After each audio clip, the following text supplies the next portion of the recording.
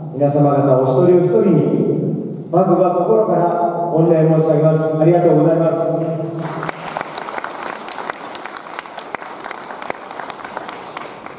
食事まだの方多いですよね。お腹が減っておられるにもかかわらずえこうやってお集まりいただいたこと本当に感謝を申し上げたいと思いますしお力をいただきました。後でご挨拶をいただく小島慎太郎市会議員また小島さんの支援者の皆様方にも心から感謝を申し上げます。ありがとうございます。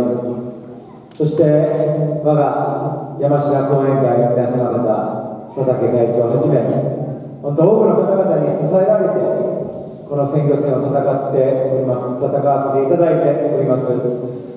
皆様方のお力がなければ選挙っていうのは戦えないんだなということを改めて感じましたしそして何よりも私の思いにご賛同いただくその方々が力を合わせていただけるこんなありがたいことはありません。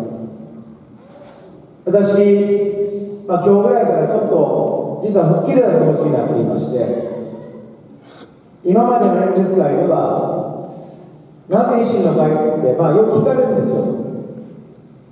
聞かれるんでそれについて、まあ、若干ちょっと説明をしてたんですけども説明をいたしますけれどももう簡単に私の思いを話をさせていただきたいんですね。それは先ほど方参議院議員がおっしゃったように我々去年の暮れに教育無償化という名前の政党を作ったんですね。私は2017年に民進党の代表になった時からこの国がなぜ賃金も上がらないのか。なぜ国際競争力をしているのか。なぜ少子化が止まらないのか。その根本に私は人への投資が足りないからだということを訴え続けてまいりました。それを当面に関して教育無償化を実現する会という会を作って5人の政党です。その政党を作って活動を続けてまいりました。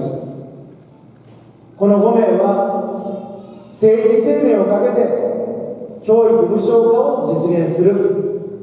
その必要性は後で話しますけれども政治生命をかけてですよ。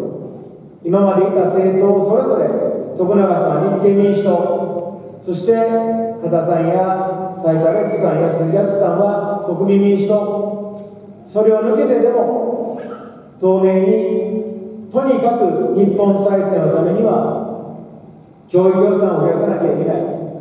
人への投資を増やさなきゃいけない。このままではダメだ。それを国民の皆様方に鮮明にご理解をいただくためには透明にしようということで教育無償化を実現する会という政党を我々は一大決心で作った。んです、まあ、今回の選挙我々は日本維新の会の皆様方と合流をしましたその理由はたった一つです。彼らが教育の無償化一緒にやりましょうということを合意してくれたからです。我々が政治生命をかけてやるといったことについて日本維新の会の方々はぜひそれを一緒にやりましょう。教育無償化やりましょう。それを合意してくれたから合流したんです。それ以上でもそれ以下でもありません我々はこれからもいろんな方に何を言われても教育無償化を実現するその一点で政治活動をまずやってまいります。他のこともありますよ。先ほどの公共事業の話安全保障の話も大事この国は中国北朝鮮ロシアに囲まれている。何が起こるか分かりません。皆様方は平和に過ごしておられるけれども何が起きるか分かりません。こういったこともちゃんとやっていかないあるいはエネルギー。まあ今10月になってエアコンがなくても体育館で演説会ができてよかったなと思ってます。真夏だったら大変ですよね。暑くて。でもこのエネルギーも皆さん日本の自給率どのぐらいかご存知ですか？十数パーセントしかないです20%なんですあるいはこれから皆さん帰られたら食べられるお食事食料自給率何パーセントカロリーベースで4割もないんです6割は輸入エネルギーは8割が輸入こうい。ったこともちゃんとやっていかなきゃいけない。でも日本再生のためには私は教育無償化人への投資が大切だと思います。なぜか我々は地域を良くするためにそれを目的に成長してるじゃないですか。経済成長をするために成長してるじゃないですか。我々の役割は皆様方お一人お一人の幸せと生きがいとやる気これをどのように持っていただくか逆に言うと皆様方の苦しみあるいは悩みそういった問題についてどのようにそれを解決していくか人のために国民のために仕事をさせていただきその結果として経済成長がすればいい。その結果として地域が元気になる。全て人のためなんですね私はこの教育無償化、まあ、今日は母が来てくれてますけれども、まあ、一つやっぱり原体験があるのは事実。中2の時に父が亡くなってそしてこの山科に泣き水団地に引っ越してきて15年間山科で私は暮らさせていただきました。監修学校です。15年間。母が元気に働いてくれた。そのおかげで私は大学まで行かせていただき高校の3年生夏まで野球もやらせていただきましたそして中1から続けていた数学の塾も高3の最後まで行かせてもらいました。一浪はしましたけれども私が大学に入られたのはあの数学の塾のおかげだと思います。つまりは母が頑張ってそして元気でいたからこそまあ今の私がと言っても過言ではありませんけれどもただじゃあそういうケースばかりじゃないですよね。例えばお体が悪くなる。事故に遭われる。この近くに私行かせてもらいましたけれども母子家庭のいわゆるシェルターがあります。公に。皆さんご存知ですか？公に母子家庭のシェルターがあります。そのシェルターに行ってお話を伺う。ちゃんと一つ一つの部屋があってそこにはまあ言ってみればお母さんそして子供さんが生活をしているわけなんですけれどもほとんどのお母様が残念ながら病んでおられます。生活保護を受けなきゃいけない。こんな状況であります。でも皆さん私は思うんですね。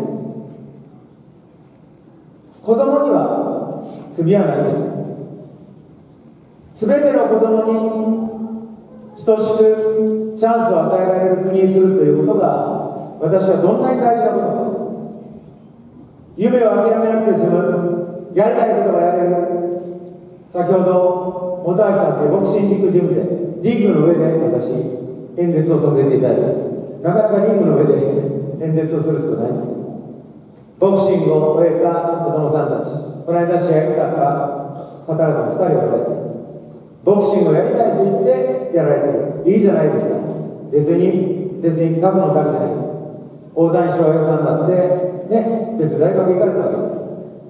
好きなことをやれる。そういう環境をしっかりと全ての子どもさんに提供できる国って皆さん素晴らしいと思われませんか？私はそこなんです。親がどんな教育であれあるいはいろんな環境が変化する場合がある。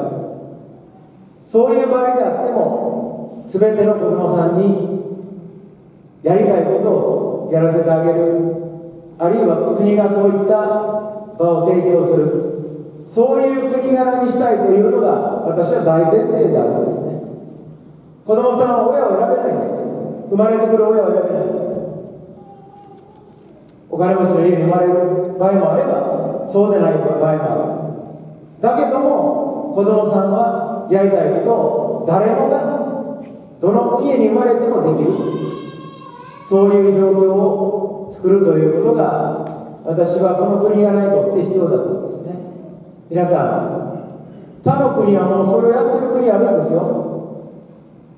ドイツフランスデンマーク教育は無償です。親の所得なんか関係ない。子供はみんな学びたいと思った。ら我々も教育無償化を実現したいと思ってますけども別に勉強したくない。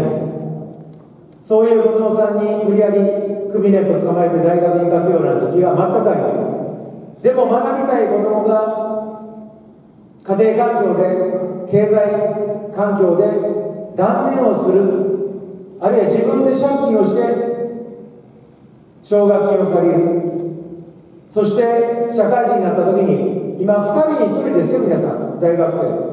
4年生大学の2人に1人が奨学金を貸与型の奨学金を借りられていてそして卒業時に返さなきゃいけないことが額が約310万円です平均して。私の時は奨学金を借りましたけれども私は月々2万円。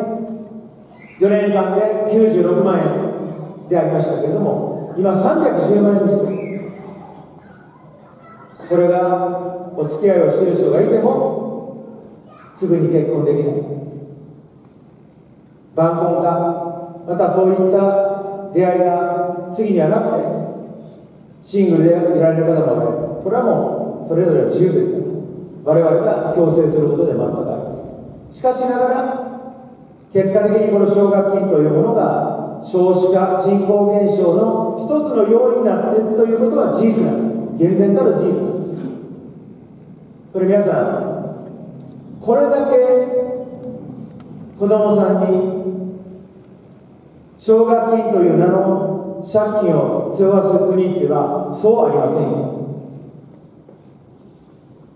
今出ている映画で発表されてる映画で実話元にした映画があるんですけども私その監督さんと対話対談をさせていただいたんですけども教育無償化を実現する会で今まだもしご関心があったらその対談を見ていただいてその映画を見ていただきたいんです実話です、まあ、いわゆる援助交際というものに女子大生が転落をしていく。そういった実話をそれは奨学金を返さなきゃいけないこういうような状況の社会を我々は変えていくというのがまず第一の目標なんです。でも皆さん教育の無償化だけで我々の目標は終わるわけじゃないです。教育の無償化をしたらもっともっといいことが社会に起きるんです。先ほど申し上げた少子化の問題。例えば大学まで授業料が答えになるんだったらもう一人子供もどうかとかもう二人子供もどうとかそういう気持ちになられますか？もういいですか？すいません。もういいと言われました。ただあの皆さん。はい。たくさんみたいありがとうございます。私の求める答えをしていただいて無償化だったらたくさんみたいとおっしゃっていただきました。ありがとうございます。はいありがとうございます。あの国勢調査5年に1回ありますね。この国勢調査で18歳から34歳までの方に結婚したら何人子供さんが欲しいですかっていう質問項目があるんです。これ希望子供数って言うんですけどこれは直近の調査では2.25なんです大体2人か3人欲しいという方が多くて、まあ、平均して2.25なんていうわけでありますけれども実際の出生率は皆さんご承知の通り1.2です下がり続けています30年間給料上がらない授業料上がり続ける。そして親の負担が大きくそして子供が奨学金という借金を2人に1人が抱えている。だからこそ皆さん我々はですねこの少子化という問題についてもしっかりと向き合うということが大事です。石破さん所信表明演説で静かなる有事としたんです。昔から言われてるんです。中身なしであります。この通常国会で岸田さんと予算委員会でやり取りをしました。えー、っと2028年から、あと何年後ですか、失礼、令和8年から、ですから、あと2年後から、実は我々が言っていた大学の無償化も始まるんです。でも皆さん、3人以上子供がいないとしかも3人以上子供がいなくてダメ、お二人だけですかあ、ダメです、今のままだと3人以上なかったら子供、あの、大学無償化にならない。しかも1人でも年が離れてて、扶養家族が訪れたらアウト。もう本当にちっちゃいちっちゃいね、なんで1人からやらないかっていうことを20分間言い続けたんです、私、岸田さんに。そしたら、ポロッと20分間って本音をおっしゃったのは、財源の話を聞いますじゃあこれ3人以上の保証家だったら2600億円ですね。かかるお金年間。1人だったらいくらなのかって聞いたら2兆円なんです。まあ簡単に言うと財務省が OK 出さなかっただけです。すいません。中山さん別に財務省が悪口言ってるわけじゃないです。財務省におられたんで。財務省の悪いこと言ってるわけじゃなくて財務省はお金の管理をしてるところですからしかし政治家が本当に必要だと思ったらその財源もしっかりと手当てをしてそんなチャッチーねなんで3人以上ですか。1人から無償化にするということを堂々とやったらいいのに、まあ、野党が私が2017年から無償化無償化と言ってそれにこうしたのも安倍さんだったんです。安倍さんが無償化したのどんな中身だったと思3歳から5歳だけ、まあ、これでも半歩前進0歳から2歳は抑えるまま。大学の無償化専門学校の無償を引き入れられるまま。それでやいやいやいや国会で言っていたら岸田さんが高等教育の無償化になります。しかもしかし3人以上。皆さんこんな程度なんですよ日本の政治ですからこれをしっかりやる。あすいません。もうそろそろ巻き巻きに入りますけれども。この少子化の問題のみならずもっと大きな私はこの教育の無償化が日本を変えるチャンスだと思っています。何だと思いますか？私無償化にしても大学改革をしっかり合わせてやらなきゃいけないと思います。つまり無償化にして今のような入試は難しいけれども入ったら特に文系の人は授業に行かなくてバイト三昧そして遊んで卒業だけしてる。こんなものに税金使ったら皆さん怒られますよね。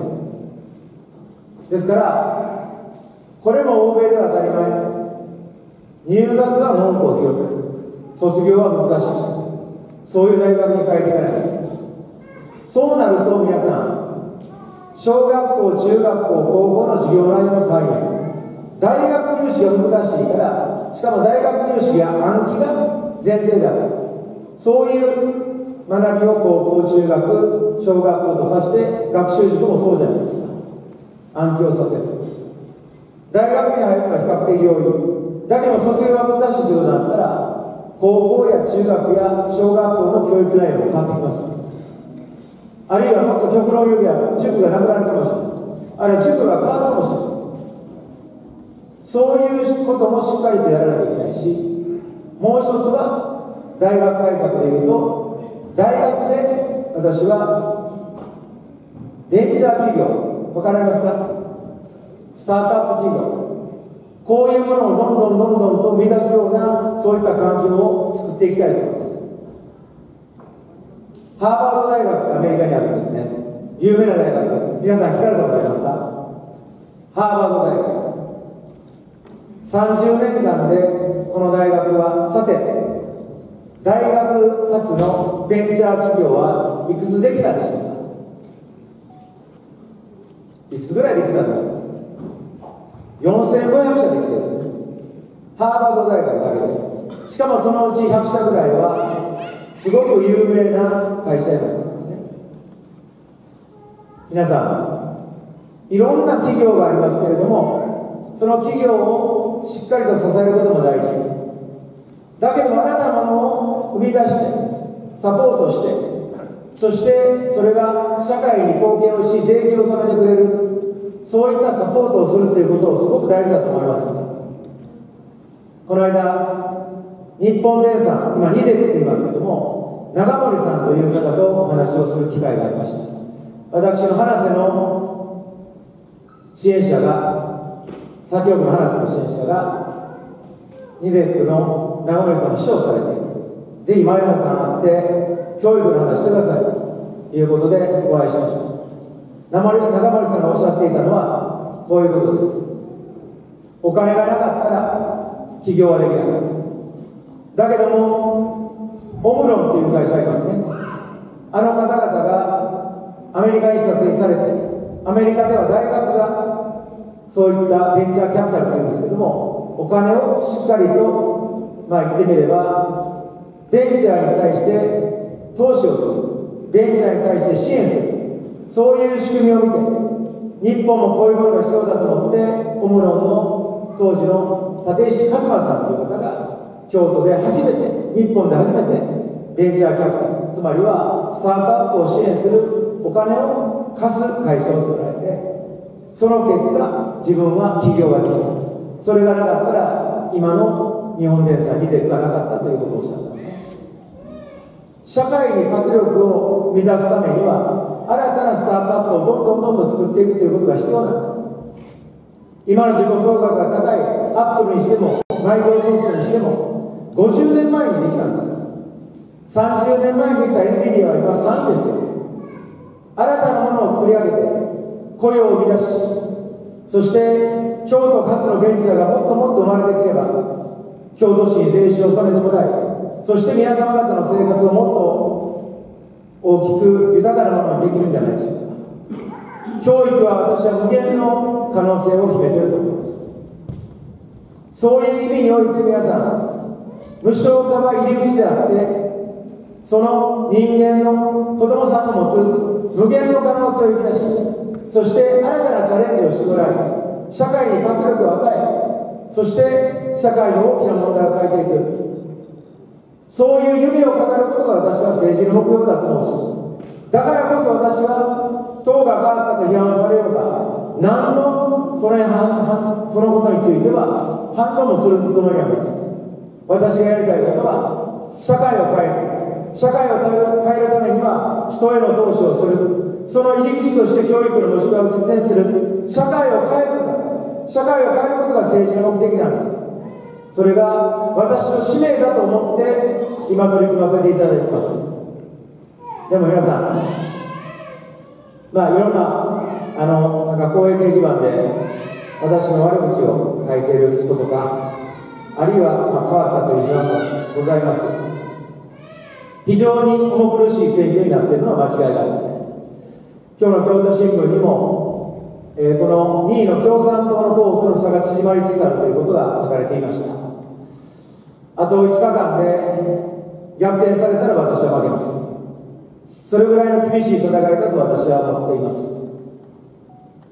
ぜひ皆さん一緒に社会を変える皆様方がどういう思いで政治に向き合っておられるか分かりませんけれども私に託してもらえませんか？この国を人への投資を行ってそして教育を無償化したら違う社会が見えてくる。いろんな形が見えてくる。私は小泉さんが郵政民営化で社会が変わるとおっしゃって皆さん騙されたでしょう。郵政民営化して社会変わりましたか？全然変わらなかった。でも人のへの投資をし続けたら必ず皆さん社会は変わると思われませんか？ありがとうございます。やり続けなきゃいけない。批判をされようが何を言われようがずっとこの人への投資を私は言い続けていて医師に関すについてでも日本という国が教育を無償化しそれから社会が日本の社会は人への投資です。また日本は復活してきたね。侮れない国になってきたね。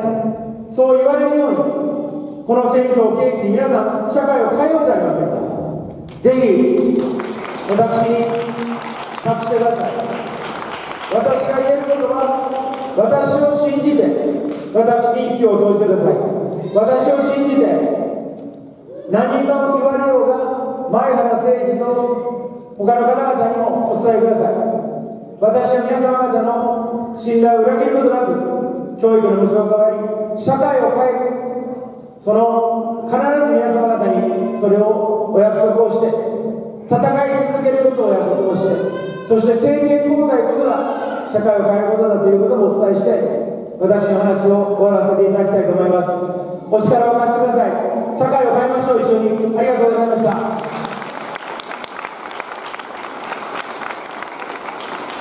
前原さんも力強い